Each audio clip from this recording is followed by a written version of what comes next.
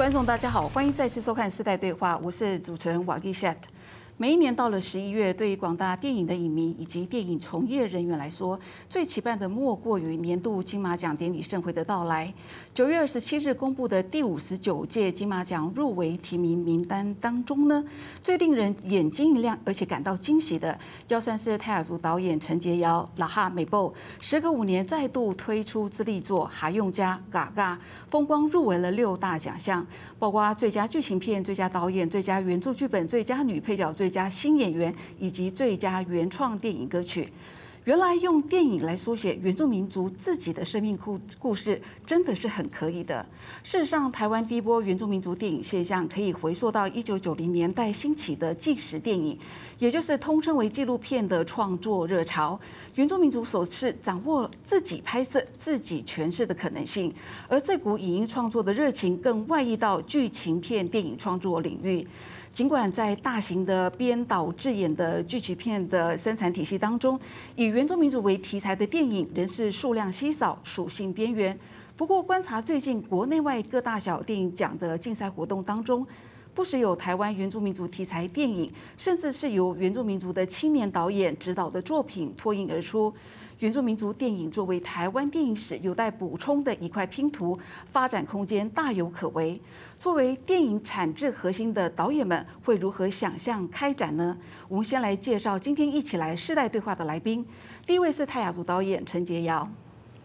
呃，Hello，大家好，我是泰雅族的陈洁瑶导演。我用族语介绍一下好了。罗嘎达瓜拉拉鲁姆嘎拉哈美布。好，谢谢。我们第二位导演是崔永辉。啊，大家好。啊，我也用主语。阿哥该干吗？我是崔永辉，我不是原住，呃，我我不是原住民啦，对，但是会一点点蓝语的主语。好，好，我们再来看第三位来宾是透过连线跟现场来进行对话的资深导演于堪平。嗨，各位观众，大家好。哎，我也是汉族，对，啊，不过呢，啊，我非常高兴有两位，啊，我们这个。非常杰出的女导演，能够，尤其是那个啊老哈啊，就是啊杰瑶，能够入围那么多项，恭喜你。谢谢于导。好，我们欢迎三位来宾啊。金马奖是从一九六二年设置哈，在设置到现在呢，刚好是一甲子的时间了。尽管在最近两三年，全球电影产业因为新冠疫情的影响啊，受到相当大的冲击，再加上两岸三地的关系比较紧张，所以金马奖呢，今不仅是中国电影缺席，港片报名的数量也大幅下降。但是仍然有许多杰出的台湾电影工作者，以打不死的精神替台湾电影发展，来书写下一。一幕幕精彩的历史。那第五十九届的金马奖会在十一月十九日进行颁奖典礼。我们在讨论之前呢，先来看一段本届入围提名名单的相关报道。最佳原著剧本入围的有。第五十九届金马奖九月二十七日傍晚公布入围名单，其中讲述泰雅族人亲情与爱的家庭故事《哈永家嘎嘎》入围本届金马奖六项大奖，分别是最佳原著剧本、最佳剧情长片、最佳导演、最佳女配角、最佳新演员以及最佳原创电影歌曲。导演陈洁瑶表示，家庭是全世界的主题，从简单的家庭生活中看见泰雅族文化，期盼大众更容易亲近原住民族的世界观。那其实要讲的就是我们打样的嘎嘎，要。让大家觉得哦，好像我们原住民好像就是有点难理解或难懂。从家庭生活来看，呃，我们的这个呃打样的故事，然后这就是我一直在呃不断的呃追求这样子的一个过程。应该是说，电影应该是我最钟爱的表达形式。然而，不止哈永家强势问鼎今年金马奖，新锐泰雅族演员李梦怡画也以电影《一家子儿咕咕叫》入围最佳女配角。再翻开今年的金马奖入围名单，可说是囊括了不少国家的作品。来自香港的电影《智齿》更是金马入围最大赢家，获得十四项提名。金马执委会执行长就说，金马奖提供了一个平台，让世界各地展现自己的电影能量。有相当多陌生的名字，对，呃，一方面其实可能也一反大家在上半年以为今年的电影的量跟值比较萧条的这个错误的期待跟想象，这不是。我是你最爱的一诺，维维女保佑我们这家。今年金马奖原名能量大爆发，而最终得奖名单将在十一月十九号的金马奖颁奖典礼公布。到底奖落谁家？大家一起来关注。好，谈到电影导演，我相信有很多人都会觉得做电影导演真的好难哦，甚至有可能会变得很惨。特别是当有一个导演呢，他决定要拍一部原住民族题材电影的时候，他身边的人应该都会有，嗯，你确定吗？原住民电影会有人要看吗？啊，你要怎么回收等等之类的疑问。那为什么要选择拍摄原住民族题材故事这样一个问题哦？我想说，先就请教目前已经有三部原住民剧情片电影作品的导演杰瑶来做一点回应。特别是你在拍摄之前，你会先思考或评估你这部电影在市场的一个回馈情情况会怎么样一样吗？呃，应该是说，因为这是我呃刚刚介绍的《哈用家》是我的第三部剧情长片。那因为我是都市原住民，所以我其实是借由我的那个 电影去认识我自己。然后我从当然第一步他讲寻根，第二步从孩子的视角。那到第三步的时候，其实我也在想，因为那时候本来想说，哎，难道要拍别族吗？可是一个长辈说，你。拍打样的你都连嘎嘎都没有讲到，我就说哦嘎嘎好难哦，没错。然后我想说好好讲嘎嘎，可是我不呃电影它不是一个文化呃不是纯然的文化教材，所以我想对我来说我就用家庭，因为我觉得家庭是大家都可以看的主题，我不会去特别去想商业，可是我觉得是它要好看，可是我主主要是我想要。非呃原住民族群都进来看，不过就是呃，所以花了蛮多时间去写一个家庭的故事。那因为这几次有一些的试片，那其实都后来都是找非原住民的族群，对，因为我就是要测试这个感觉，大家都可以懂，从家庭感受到呃普世的那个情感纠结，然后他们一直在也在也在思考嘎嘎是什么。我觉得这对我来讲就达到了，他们可以透过电影，透过剧情，然后。来了解原住民，对，这样。杰瑶现在已经累积三部有关于泰雅族题材的电影。是。那第一部是不一样的月光，第二部是只要我长大，第三部就是哈用加嘎嘎。那可能在日后就会变成你的泰雅三部曲了。呃，因为我自己不会讲三部曲了，因为也是有点奇怪，就是，当然，因为这样表示我不能再拍第四部了。对。呃，就是因为是刚好这样的，就是跟着我自己。对于认识自己的那个历程在走，对，那下一步也会比这个题材又更不一样，对，就是要越来越呃球星嘛，对。好，我再直接请教一个问题 好了。那我知道像一般现在的电影拍摄都会申请一些国片的辅导金嘛，嗯，但是呢，这个那个部分是毕竟还是不够用啦。对。那如果说要找一些投资人的话，投资人放心这样的题材吗？呃，像这次我们的出品方非常多，那当然，呃，当然对他们来讲，当然他不会一次投很多，他就是，可是都有支持，就是像呃很多影城，然后还有像呃其他的单位，就是呃有所支持。那也刚好这次我们也入围了金马，也算是一个保证。然后再加上也很期待，呃，就是我们十一月十一号上映的时候，期待就是呃。观众可以进来看，那如果这些都有的话，其实，呃，会，它可以让我之后下一部的作品的资源会越来越越多。其实从第一部片、第二部，其实第一部片，呃，到第二部片，呃，资金是双倍，然后第二部到第三部资金也是双倍，对，所以就是一个能量的累跟经验的累积，对。好，其实永辉导演呢，他本身就是刚刚你提到你不是原住民啊，可是你的第一部剧情长片，那你就选择好，而且是很勇敢的，就要拍摄一个蓝屿达悟族的题材，只有大海知道。而且我知道这部电影其实它前后花了六年的时间啊。从后续的一些回想，我们当然会觉得说这六年的时间是很值得的。可是，在电影拍完推出之前，一切都是未可知的。那你自己会怎么去嗯，在这段时间啊，来去克服？可能面临的各种挑战，或自可或是哦，可能是自我的怀疑，自我怀疑。呃，对，就是在还没有还没有正式推出电影，甚至还没开拍之前，就是其实是一直被劝退，就是遇到不同的人、不同领域的朋友，也也许业界的，也许是亲朋好友，也许包含蓝屿当地的朋友，是，其实就是有太多人劝退过，不要他们太爱，就是不要做这件事情这样子。当然就是会牵涉到说，大家一定第一个反应都是会联想到说，哎，电影在市场。会有商业性吗？那这样的电影怎么去回收，或者说我要怎么去 cover 这些制片的资金这样子？但是，嗯，可能那时候对我自己来讲，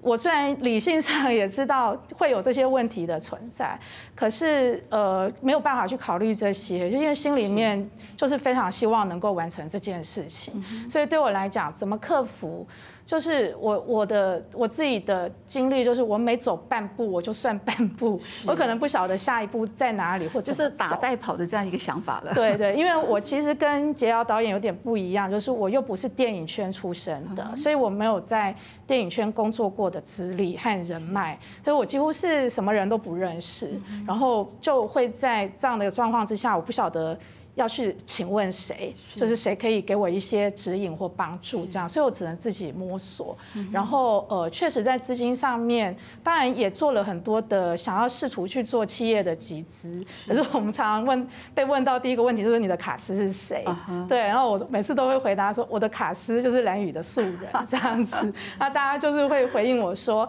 那现在的国片那么惨淡，连明星加持都不一定有票房了，何况你都是素人这样子。但是我。自己的态度就是，因为当时我已经不可能再回头，因为我心里面有非常非常强烈的那种很很强烈的想法，就是我一定要做完这件事情，否则我自己心里面是过不去。所以就是不晓得下一步在哪里，可是现在看哪边有路，我就先走半步，走了那半步，然后再想办法，这样就一步一步的往前走。好，可以请教永辉一件事情。对，经过这样的一个过程哦，你还会再想拍原住民题材电影吗？会啊。会啊，当然就这是打不死的精神。对，好，我们台湾电影发展的源头，其实在十九世纪末日，哈啊，十十九世纪末的日治时期就已经萌芽了。在这漫长的一百二十多年的期间呢，原住民题材电影是真的非常有限，发展的时间也更晚啊。我们来看一下制作单位的一个整理啊，就是从一九九零年代出现的第一波原住民族电影现象到现在，有哪一些重要的原住民族题材相关的剧情片电影？在一九九零、一九九一年，先后有两部非常重要的原住民题材电影啊，一部就是余开平导演的《两个油漆匠》，另外就是黄明川导演的《西部来的人》。这两部作品同时为入围当年度的金马奖。我记得那个时候，香港的电影是强力压压境啊，所以有很多的奖项其实都被港片抱走了。那差不多是隔了十年的时间哦，才有魏德胜描述雾社事件历史的《赛德克巴莱》出现。而这部影片呢，不管是在规模啦，或是引发的讨论的话题，都可以算是说是史诗级的原住民族题材电影的代表作。不过我在这里要特别补充一下，其实很多人可能并不知道，第一部以原住民族语做主要电影旁白旁白的电影，并不是赛德克巴莱，而是黄明川导演的《西部来的人》。那接下来在二零一一年赛德克巴莱推出之后，陈洁瑶导演的第一部电影作品《不一样的月月光》也刚好是推出了，而这一部电影呢，似乎也开启了原著名题材电影的这样一个起飞期啊，我们就陆陆续续看到有呃马志祥啦、王玉玲啊、呃乐嘎苏密和郑有杰，他们也推出了作品。到了二零一六年，陈洁瑶的第二部作品《只要我长大》，呃，在口碑还有票房上都获得很好的成绩啊。我们再看二零一八年，就是崔永辉导演的《只有大海知道》这部电影推出来，当时呢也是引发很高的这样的一个回响。到了去年呢，即使在电影产业因为疫情而全面萧条，确实有萧条啊。也很难得的就是我们可以看到原住民题材的电影出现啊，也就是杨志玲的《听见歌在唱》。那今年呢，我们看到的是杰瑶的呃第三部作品，也就是《海用家》。那接下来我就想要透过视讯来请教，就是呃于堪平导演，那你会怎么去看原住民题材电影在台湾电影产业当中的位置，还有它未来的发展性？另外，刚刚我们提到就是原住民族题材电影和它的市场性的问题，是不是也请导演做一些补充呢？哎，好的，呃，我先要说，就是我非常佩服两位女导演，因为他们的作品呢，非常的少，少的原因是来自于他们想要完成他们坚持自己的理想，那么要符合原住民的呃题材，又具有文化性的内涵，又要有。娱乐性，对导演来讲都是非常艰巨的一个挑战。如果不是有坚韧的这个理想性在的话，很难够完成的。因为我们刚才听他们讲，就是两位导演通通都历经了非常艰辛的募资的过程，也就是原住民的题材，其实啊在市场上面不太容易得到认同，也就是在我们自己的国家里面啊，就在台湾里面啊，大家也虽然知道有原住民，可是他不晓得每一个族群的特殊性跟差异性，也不晓得文文化的。美感是在哪里？所以他再加上这两部呃这两部片子的导演，他们使用的都是素人的演员居多嘛哈，所以在啊资方来讲啊，其实投资方来讲都会有很大很大的一种啊顾虑。那么不是靠两位导演很坚持的。小小款啊，都是小款。我有帮崔永辉去募过款，都是小款的这种募款啊，才能完成这个呃梦想。那么电影出来了之后呢，口碑跟提名跟得奖是可以加分的。可是我说句实话，就是正是在市场上来讲的话，其实这样子的票房，你说啊卖的很好，其实我。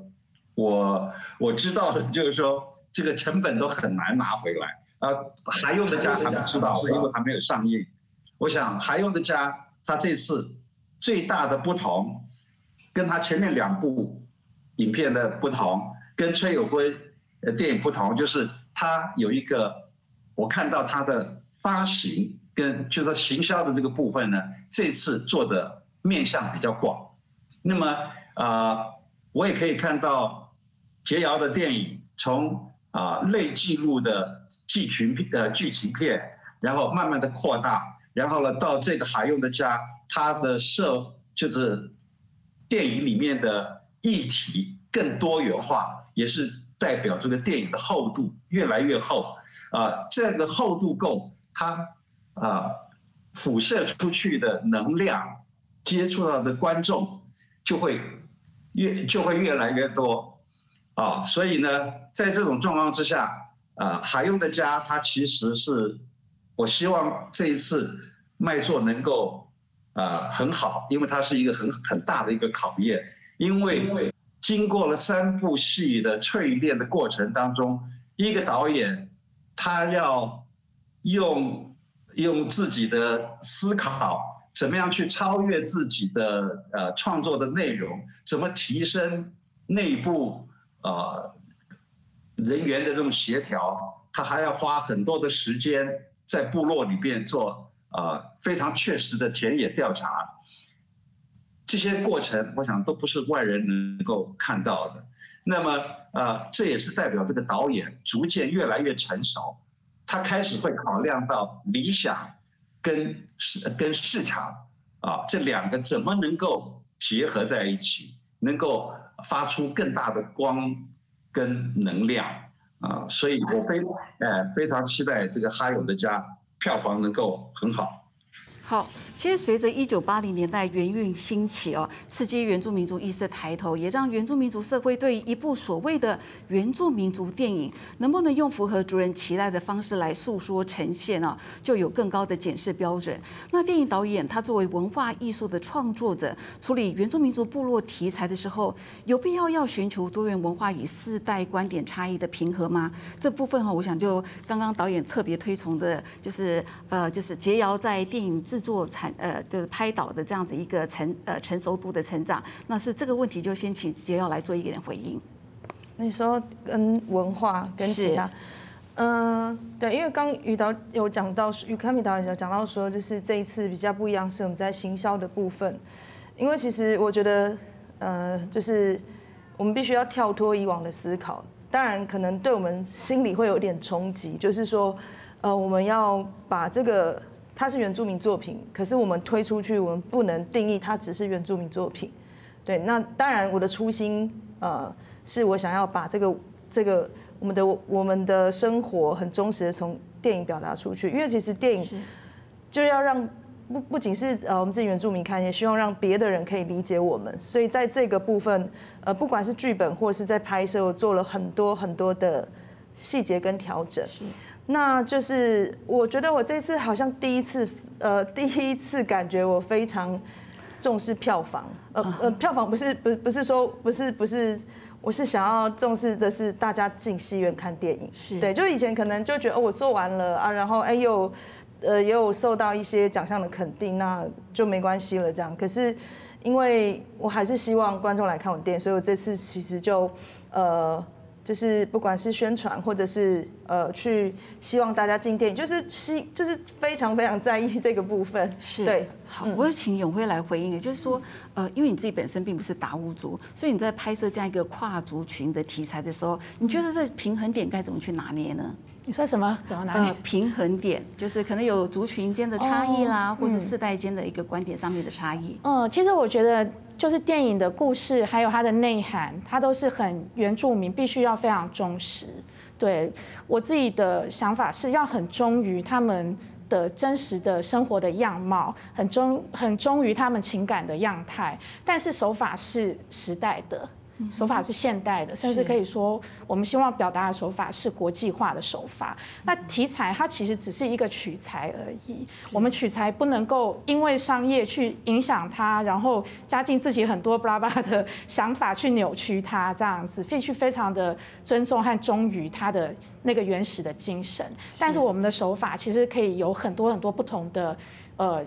不同的技巧或技术去呈现这样一个故事，对，所以我觉得就是那个说故事的方法必须是能够符合普罗大众，那必须是手法上面必须是要有时代性的。好，那这样子其实观众他才能够，我觉得这样的电影才能够达到一个沟通的功能，是，就是原汉之间或者说原住民族跟外面的世界之间一种沟通的效果，这样子。好，谢谢。呃，我们讨论到这里要先休息一下，广告之后马上回来。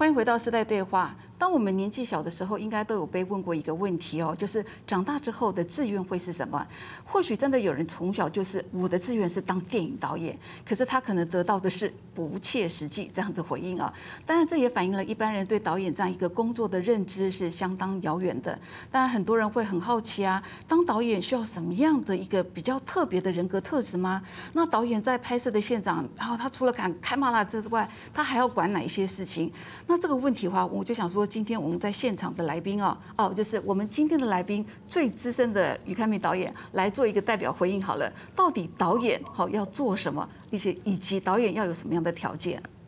哎，那其实针对他们两个人的电影来讲啊，他们的导演的工作比一般电影的导演工作要重很多，因为他要花很长的时间去做田野调查啊，像崔永辉拍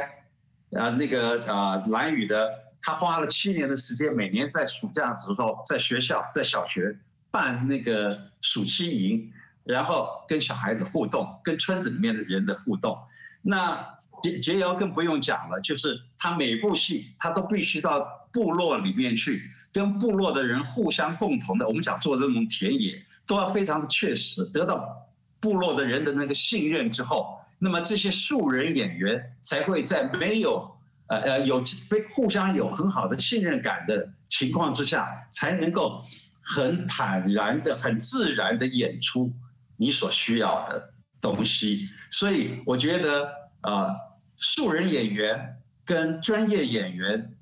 的导演花的那个心力来讲啊，这种使用素人呃演员多的导演，他花的心血其实远超过。对专业演员导演的这样子的的时间，好，那其实哦，我们就不可否认，导演再怎么厉害，好，再怎么会导戏，电影还是靠演出来的。所以就是刚刚导演提到的素人演员也好，专业演员演员也好啊，就是找到合适的演员来演啊，是对导演来讲是一个很重要的一个功课。那其实我们真的发现，原住民题材的电影啊，会启用啊大量的素人演员来担任重要的角色。那就以杰瑶的这最新的作品《还用家》来讲啊，呃，有两位素人演员。在今年呢，就分别获到这金马奖最佳新演员，还有就是最佳女配角的入围提名，这是非常不容易啊。但我知道说，在选角的过程一定非常就是有很多的波折。不过呢，就你来讲，如果呃你在整个的一个筹备的过程当中，怎么样让素人演员在很短的时间之内，他又可以背台词，又可以演戏，这件事情有没有什么诀窍可以做到的？是。应该没有很短的时间，其实我们花了蛮多时间找演员，大概七八个月。然后呃，这个过程其实大概有三个、三四个月的时间，就是把有可能演出的人都集合在一起，然后前面做了一些呃活动跟引导，就是有点像试戏，有点像，因为其实拍片之前这个过程是我最喜欢的，我觉得很有趣的，因为我自己会想很多种好玩的方式，因为一部分是。让他们感觉什么是，呃，这个角色的状态，因为因为基本上我不会教他们怎么演戏，就怎么状态。然后我自己在呃他们这样子有点像游戏的排戏过程中，我也在观察他们的特质，然后再去微调我的剧本。对，然后其实应该说他们拍戏要电影开拍前，他们应该状态已经要好了，我才会拍。然后基本上因为呃。剧本很长，可是我没有让他们阅读剧本，因为阅读剧本会，我我觉得那个方式可能没有很好，所以是讲故事跟我自自己做的比较，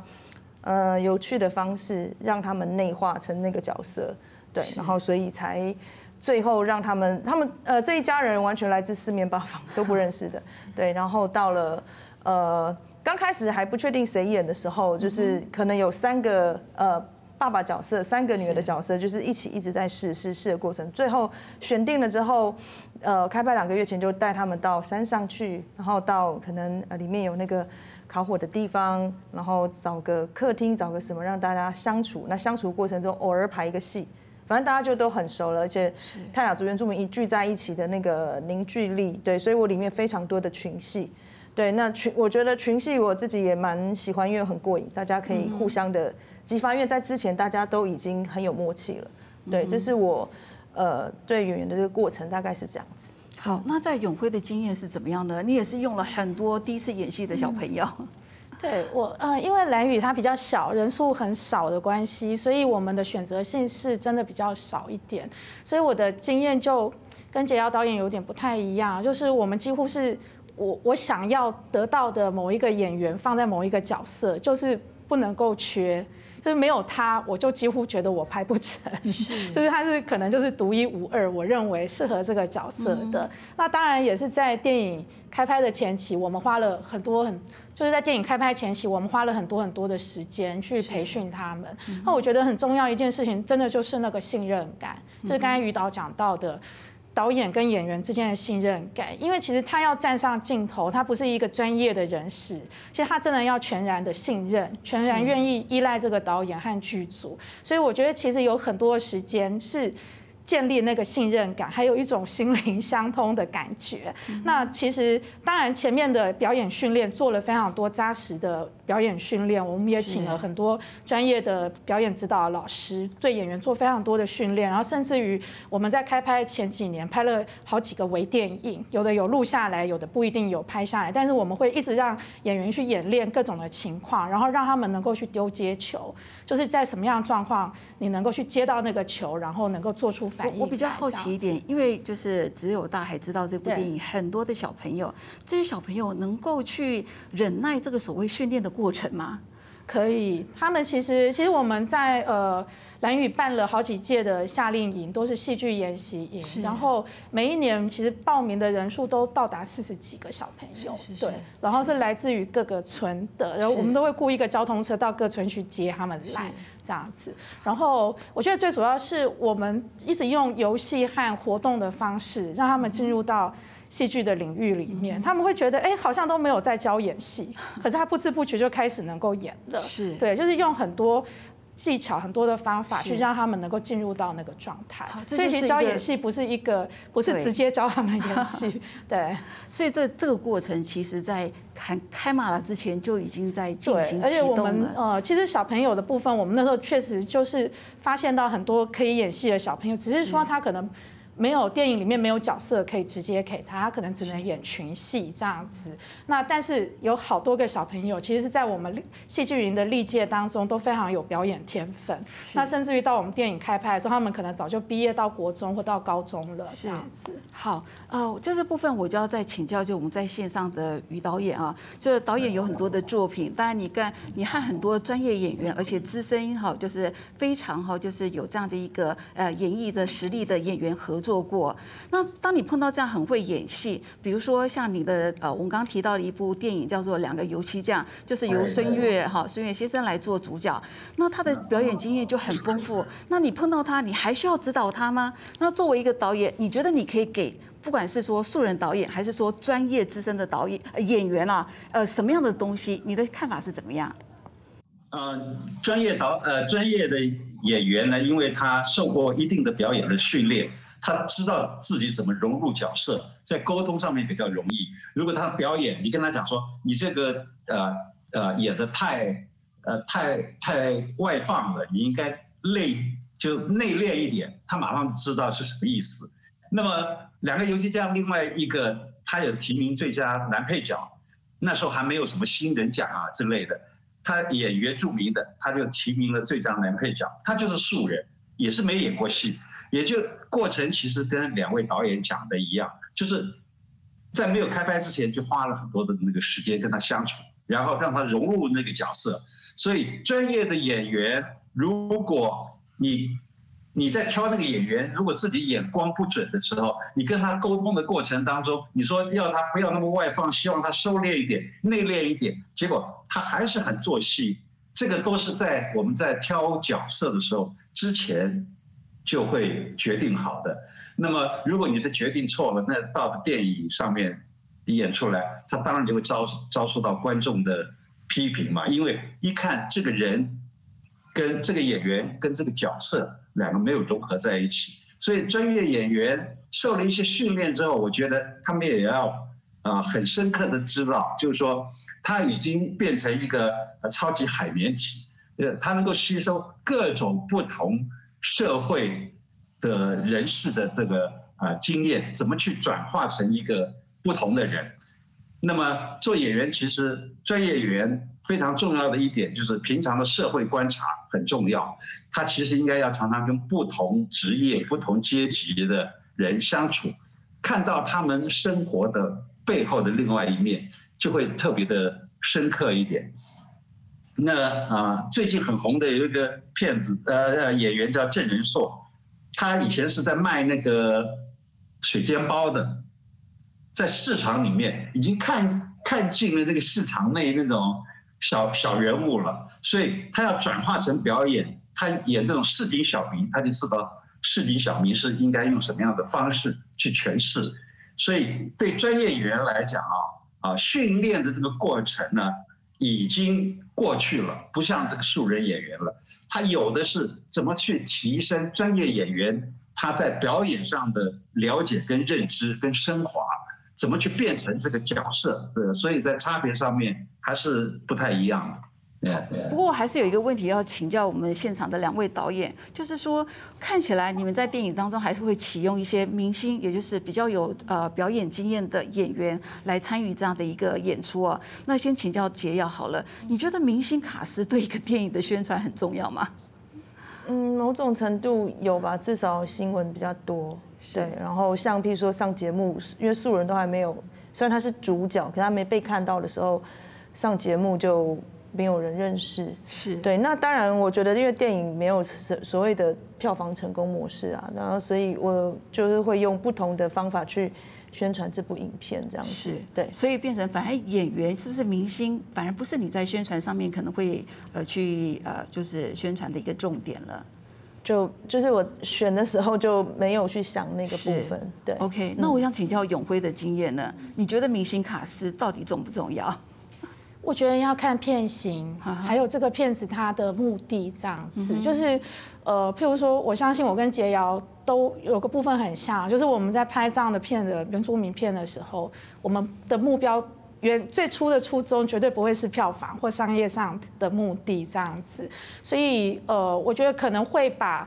可能会把那个适合性。或者说真实性放在卡斯宣传之前，但是要不要考考虑到卡斯宣传？我觉得当然还是可以考虑的，可是不能够去妨碍那个真实性或它的适合。对，所以我觉得是什么东西在顺位在前面？譬如说，呃，当时大海其实受到观众就是观众反应的程度，也有比我们的预期更好。我们本来的预期是觉得一定很小众，或者一定非常非常的惨淡，但是我相信后来观众会喜欢片子的原因，绝对不是因为我们里面有哪一个明星，而是被里面的某一种情怀或精神，或者说那个文化它本身的震撼的力量所感动，或者故事的本身。是。那我觉得就是每一部片它有它自己的生命的路径，就是你要怎么样去。呃，拍完这部片怎么去宣传它，怎么去行销它，它有不同的方式。那卡斯明星，我觉得真的只是其中的一个考量而已，不是绝对的。谢谢，谢谢永辉。我们讨论到这里，要再休息一下。啊，广告之后马上回来。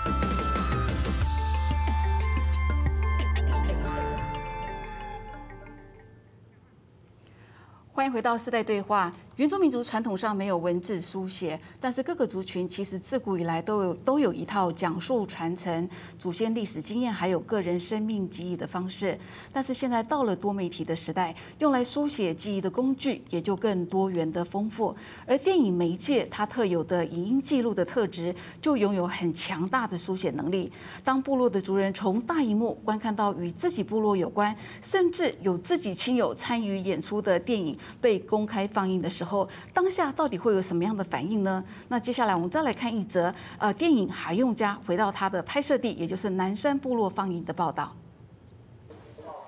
有好消息，今天晚上呢，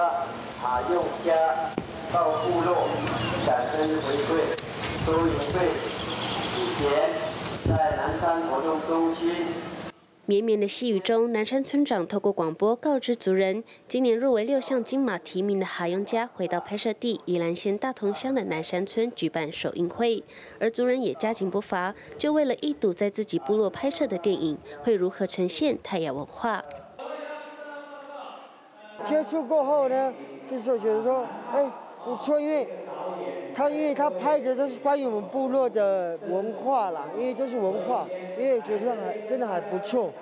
那是我最感触的地方，因为因为他拍的都是真的。我感到，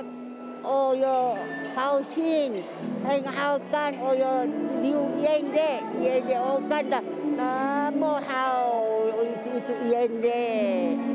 族人表示，电影的内容就是部落每天生活的缩影，相当有同感。而出演电影的主要演员也说，跟族人一起拍摄、一起看完成后的电影，相当感动。讲真的，一定是有部落的支持，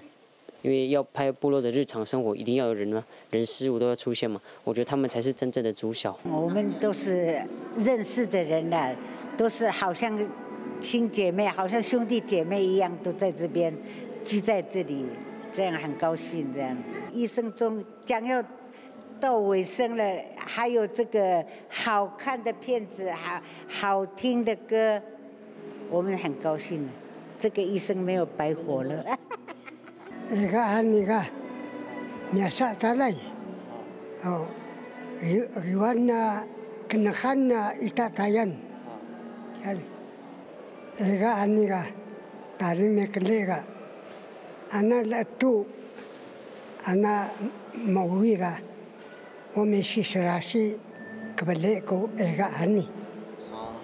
回到部落举办首映会，导演说这就像是电影拍摄完成的最后一块拼图。我觉得是那个气氛感觉。那当然，因为取之于部落，当然还是要回馈嘛。那我觉得这个电影也是我跟南山部落的呃人跟这些土地啊、物啊、学啊一起完成的。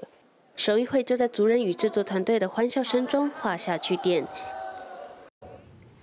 哎，其实我们知道，不只是杰瑶导演，永辉导演的作品也是有回到蓝屿去做放映啊。那现在我先请教杰瑶好了，就我们知道，一般电影哦，在正式上映之前，其实都会举办一些所谓的试映会，对，也算是测水温啊。对对对。那对于像这样子一个原住民的电影啊，啊，你会特别回到部落去做放映？那除了有一些行销宣传的目的之外，呃，自己对于呃，就是部落，还有剧组，还有这整个的电影的一个本身来讲，你会怎么去看它当中的意义呢？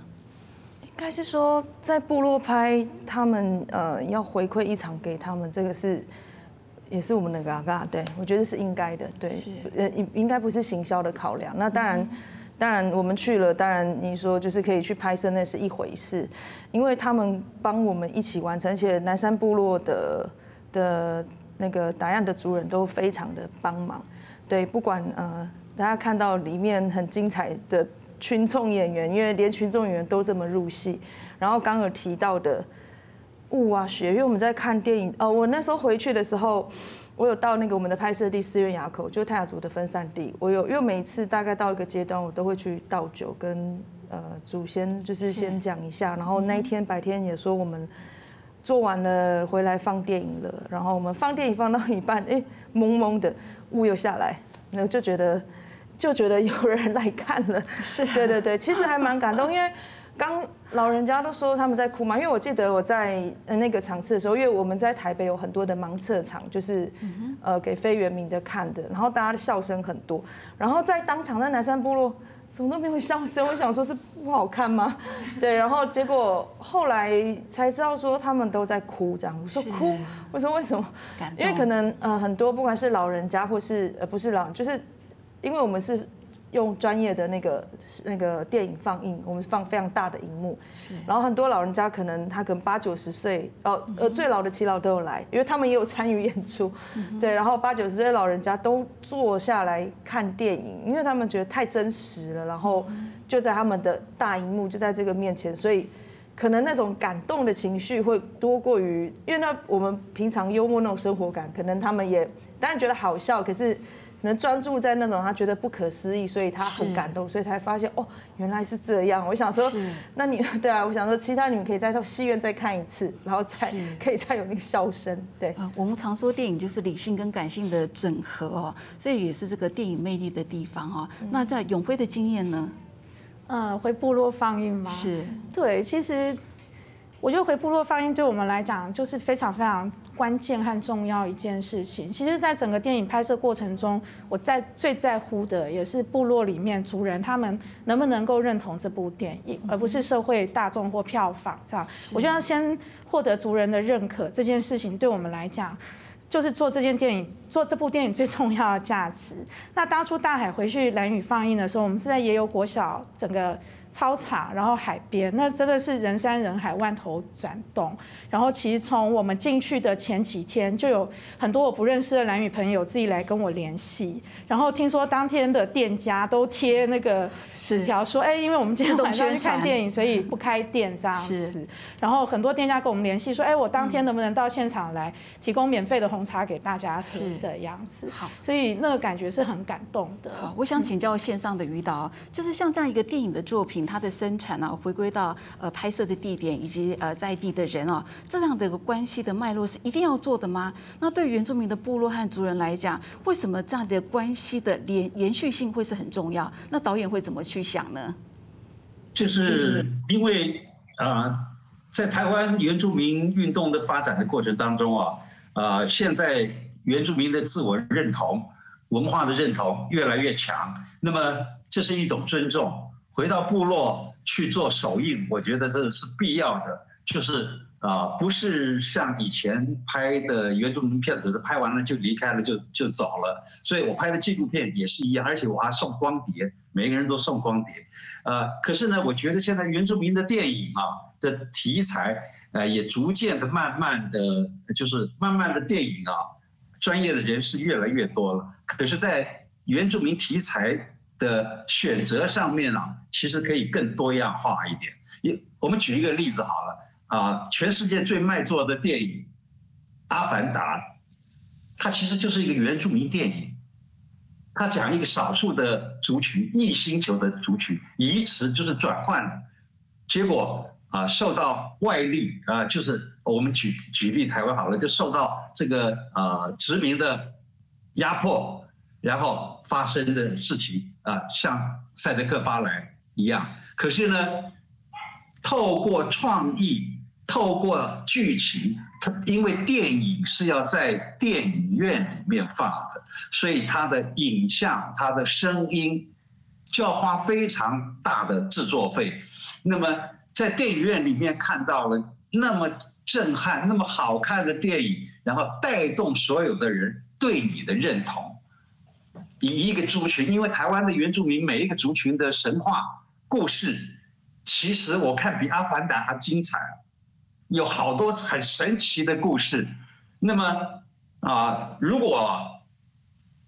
有一个很好的这样子的一个啊啊，再往前走一步的话，那么资金的募集方面呢，我也觉得会比较容易。当然，那个投资是非常庞大的。现在是主要都是来自于我们原住民自己本身的导演，或者对原住民议题关心的导演，他还是出出于文化人的一种人道的关怀。